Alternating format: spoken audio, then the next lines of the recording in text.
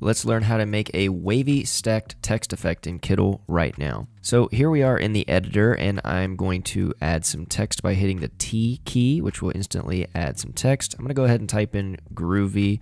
Uh, it's going to be fitting for this tutorial. I'm to make it this nice orange yellow color and I'm going to select Sunny Drop. One tip on making this kind of effect, always choose a font that's going to look good curved. Some of them might look a little bit weird if you use a font that's too edged.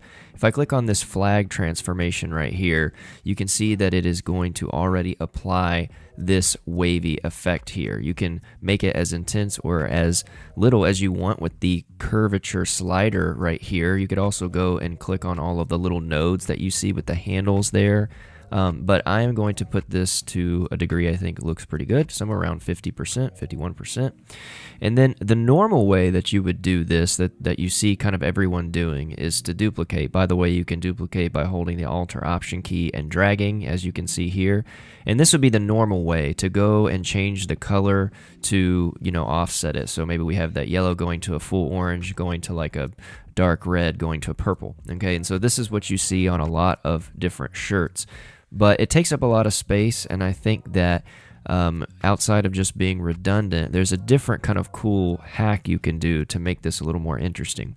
So what i'm going to do is go over to effects and i'm going to add the color cut decoration. So i click on that and you can see some of it has turned gray because i haven't selected any color. The default color is just gray.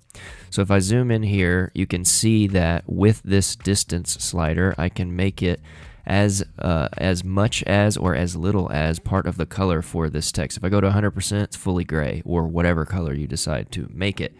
I'm going to back this off to around 85%. And I could change the color there, but what I'm going to do is go over into this area, change the gray color to orange. And then what I'm going to do is set the original color to uh, nothing. So I'm going to use this swatch right here with the dash through it, which makes it transparent or just basically takes off that color so that all we have is the effect color showing, which is that orange. And so now you can see it follows the path of the effect here and I can change it to be as little or as much as I want. So again, I'm going to put that back to 85% and you can see we're getting a really cool effect. Now I'm going to duplicate this process several times gradually increasing the amount of cut distance. So you can see here I'm just increasing it to get this full cut effect and changing some colors. And now you see I have a little bit of a different uh, effect here that's really cool, would look really cool on a t-shirt. As you can see, it's fully transparent below, so you can change the design behind it or the color behind it. And I hope you have a ton of fun coming up with your own words and different designs using this wavy stacked effect.